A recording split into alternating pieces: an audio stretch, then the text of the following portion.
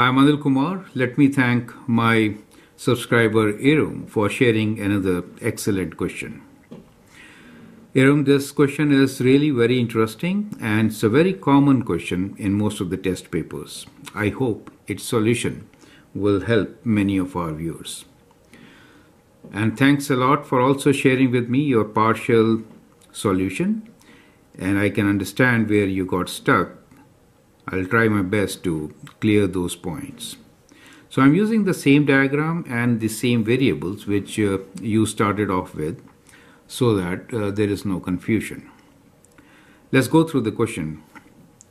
The diagram shows a river 30 meter wide flowing at a speed of 3.5 meters per second between straight parallel banks. A boat whose speed in still water is 6 meters per second crosses the river from a point A on one bank to the point B on the opposite bank 5 meters upstream. So this is B. In order to travel directly from A to B, the boat is steered in a direction making an angle alpha to the bank as shown. Find the value of alpha, resultant speed of the boat, time taken for the crossing. In order to make the return journey from B to A, what is the course taken by the boat? Excellent question. Now let's see how to solve it. So that's the width of the river and the point B is given here. We can use the tan ratio to find the angle which is this angle, right? So let's find this angle. Let's call it theta for the time being. Now here I'm going to use uh, space uh, to my best so that we don't run into many pages. We'll take two or three pages for sure. So tan theta is equal to 30 over 5 which is equal to 6 correct so what you see here is the two banks separated by a distance of 30 meters they are parallel and the boat lands 5 meters upstream from a point which is directly opposite. Let's say we call this as O right?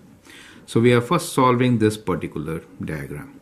In order for the boat to reach at B it actually steers in an angle of alpha with the current it moves and comes to this right? So 3.5 meters per second is the water current and the velocity of the boat in still water is 6 meters per second right? So i hope the diagram is absolutely clear.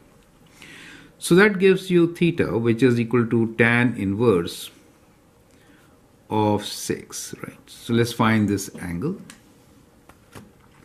Shift tan inverse of 6 is equal to 80.53.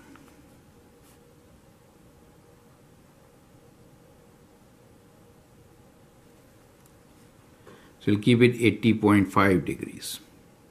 Now once we know the angle theta here, we can now find the angle on this side, right?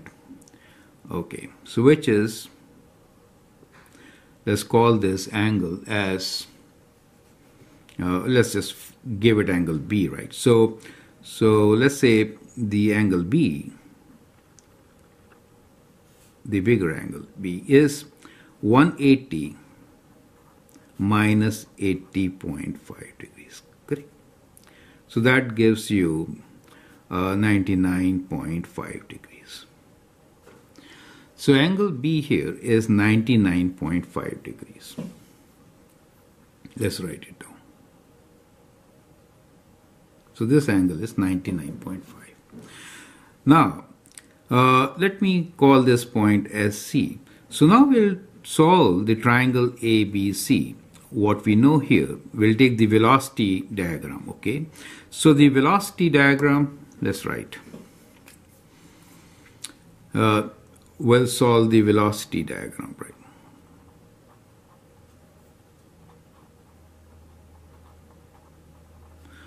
Now, if you look into the triangle ACB, what do you notice? We can apply the sine law, right? uh, and find uh, one of the angles, which is this angle, which we are going to find now. So let me call this angle as beta.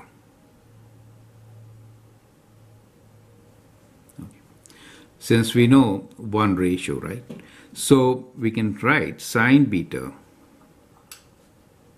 over the side opposite. We are talking about the velocities now. 3.5 is equal to sine of 99.5 degrees over 6 velocity of boat in still water right so that gives you the value of beta as we'll just cross multiply so we get 3.5 over 6 times sine of 99.5 and we'll do sine inverse right I didn't leave much space so let me write sine beta here okay sine beta is all this and then we'll find beta. Okay, so, so we get 3.5 divided by 6 times sine of 99.5 is equal to. So we'll find beta as sine inverse of all this value, which is uh, 0.5753. So shift sine inverse of our answer gives us a value which is 35.12. So I'm keeping it as 30.1 degrees. Good. So we get the angle beta as 35.1 degrees. So that's our angle beta. So the first part is to find the value of angle alpha, right? Now so, so we know this, all this is 90 degrees. Let me say this is 90 degrees, right? So we can actually find alpha from, we also know this angle.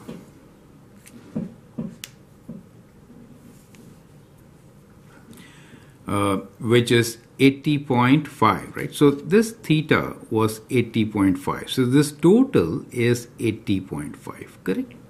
So to find alpha, we can take away 35.5. So this angle theta is same as this angle, correct?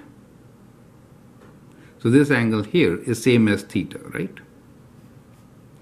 Which is which is 80.5.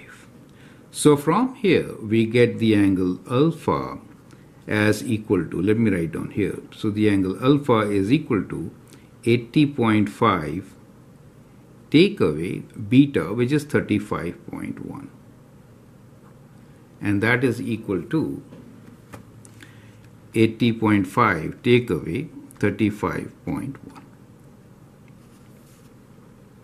Uh, in decimals 45.4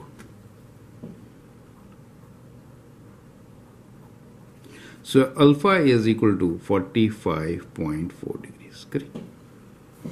So we found this angle alpha. Now we need to find the resultant speed of the boat. So the resultant speed is that green line which I have shown right? So that is the resultant speed and uh, now since we know what this angle beta is, we can actually easily find uh, A to B resultant speed using either, now we know this combination. So now let's find resultant speed. So let's find it on the fresh page. Now to find the resultant speed, uh, I've made some room here. We'll do it on this page itself what we are going to use is the triangle shown here with red, green and blue line. Now this angle alpha is also equal to this angle, right? So that is also 45.4, right? So that is also alpha.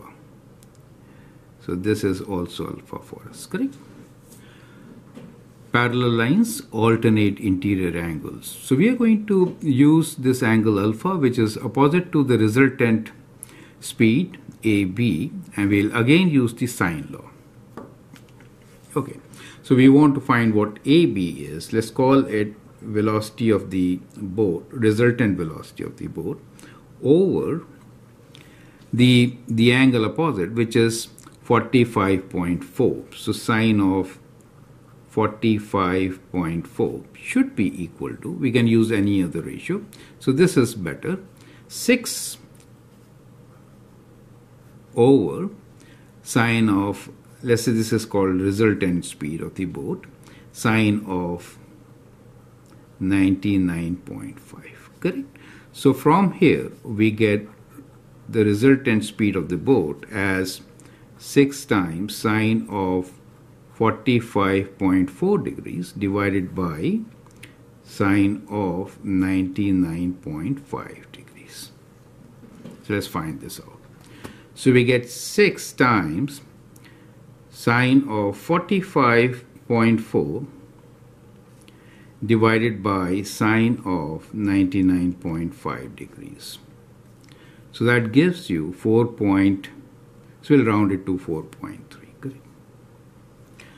So that is the resultant velocity or speed of the boat from A to B.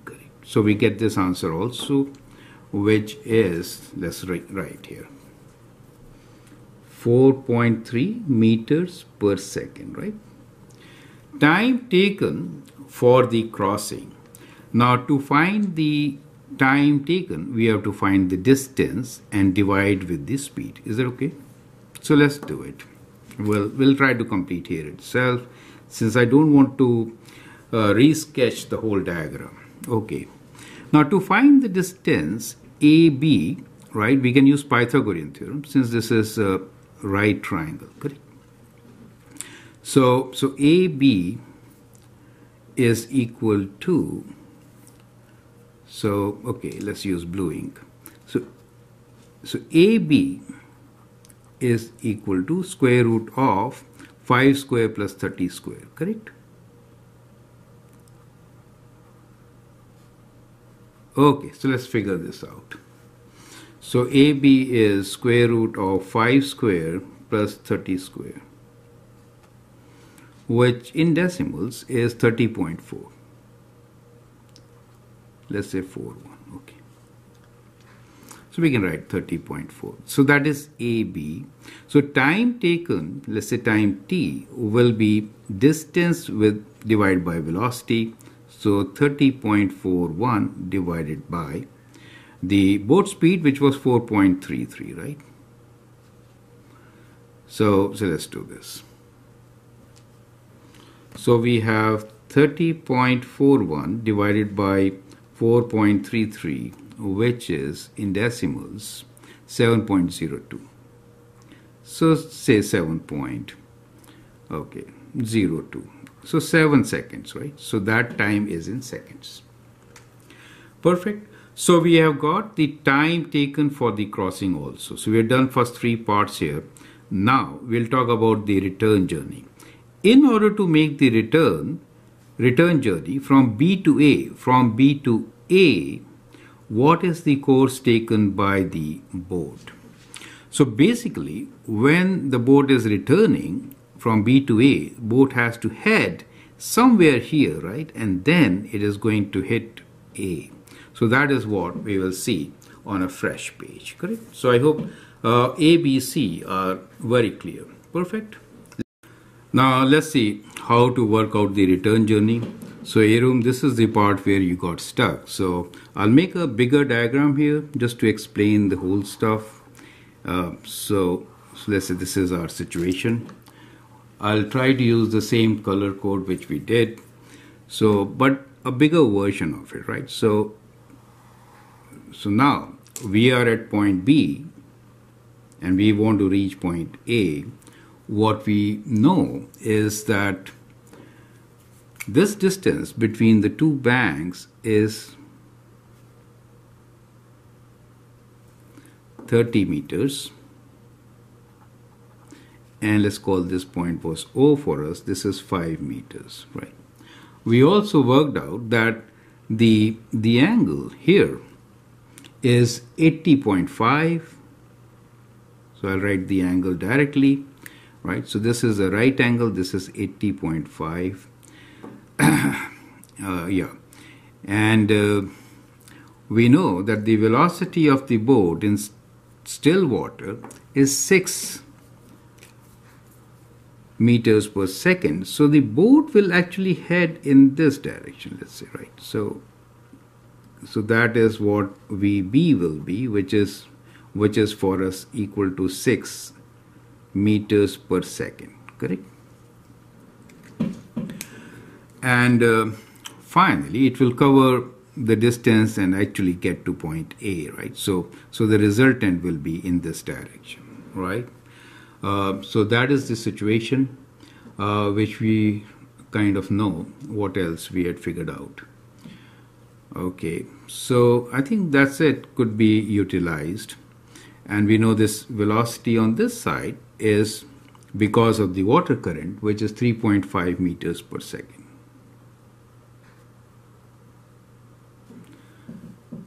Correct? So all this is known to us. Now, if you look at this triangle, then the angle 80.5 is, is this angle also, right? So this angle is 80.5. So you have to work basically with that angle. Hmm? And since we have a combination of all this, we can actually figure out uh, this diagram completely. Correct? So, so now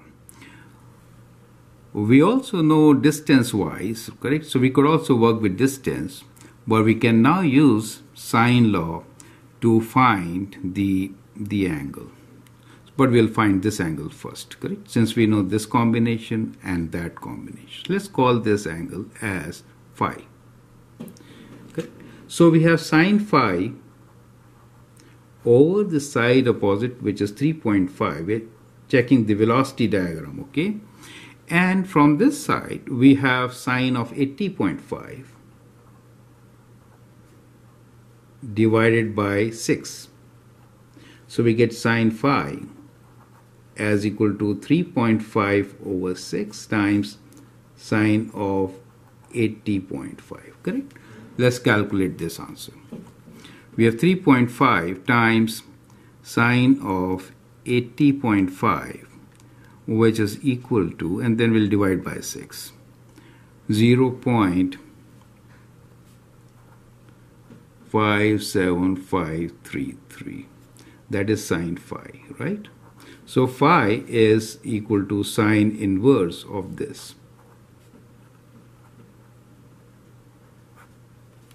So we'll do shift sine inverse of our answer and what we get is 35.12 okay.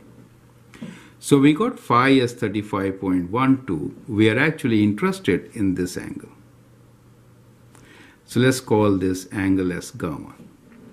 So angle gamma will be equals to 180 degrees minus 80.5 minus 35.12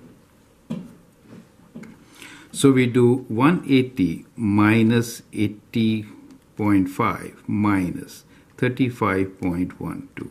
That gives you, in decimals, 64.38. Or you can say approximately 64.4 degrees. Correct? So the angle at which it is going to hit is 64.4 degrees so that is the that is the answer right? So so you know, I really you could also mention from north or whatever right? So but I hope that makes sense. So this angle is gamma for us at which it is returning back right effectively. The boat will reach point A. So I hope that is absolutely clear right Feel free to share with me your comments and views, and I hope that helps. Thanks a lot for sharing once again, and all the best.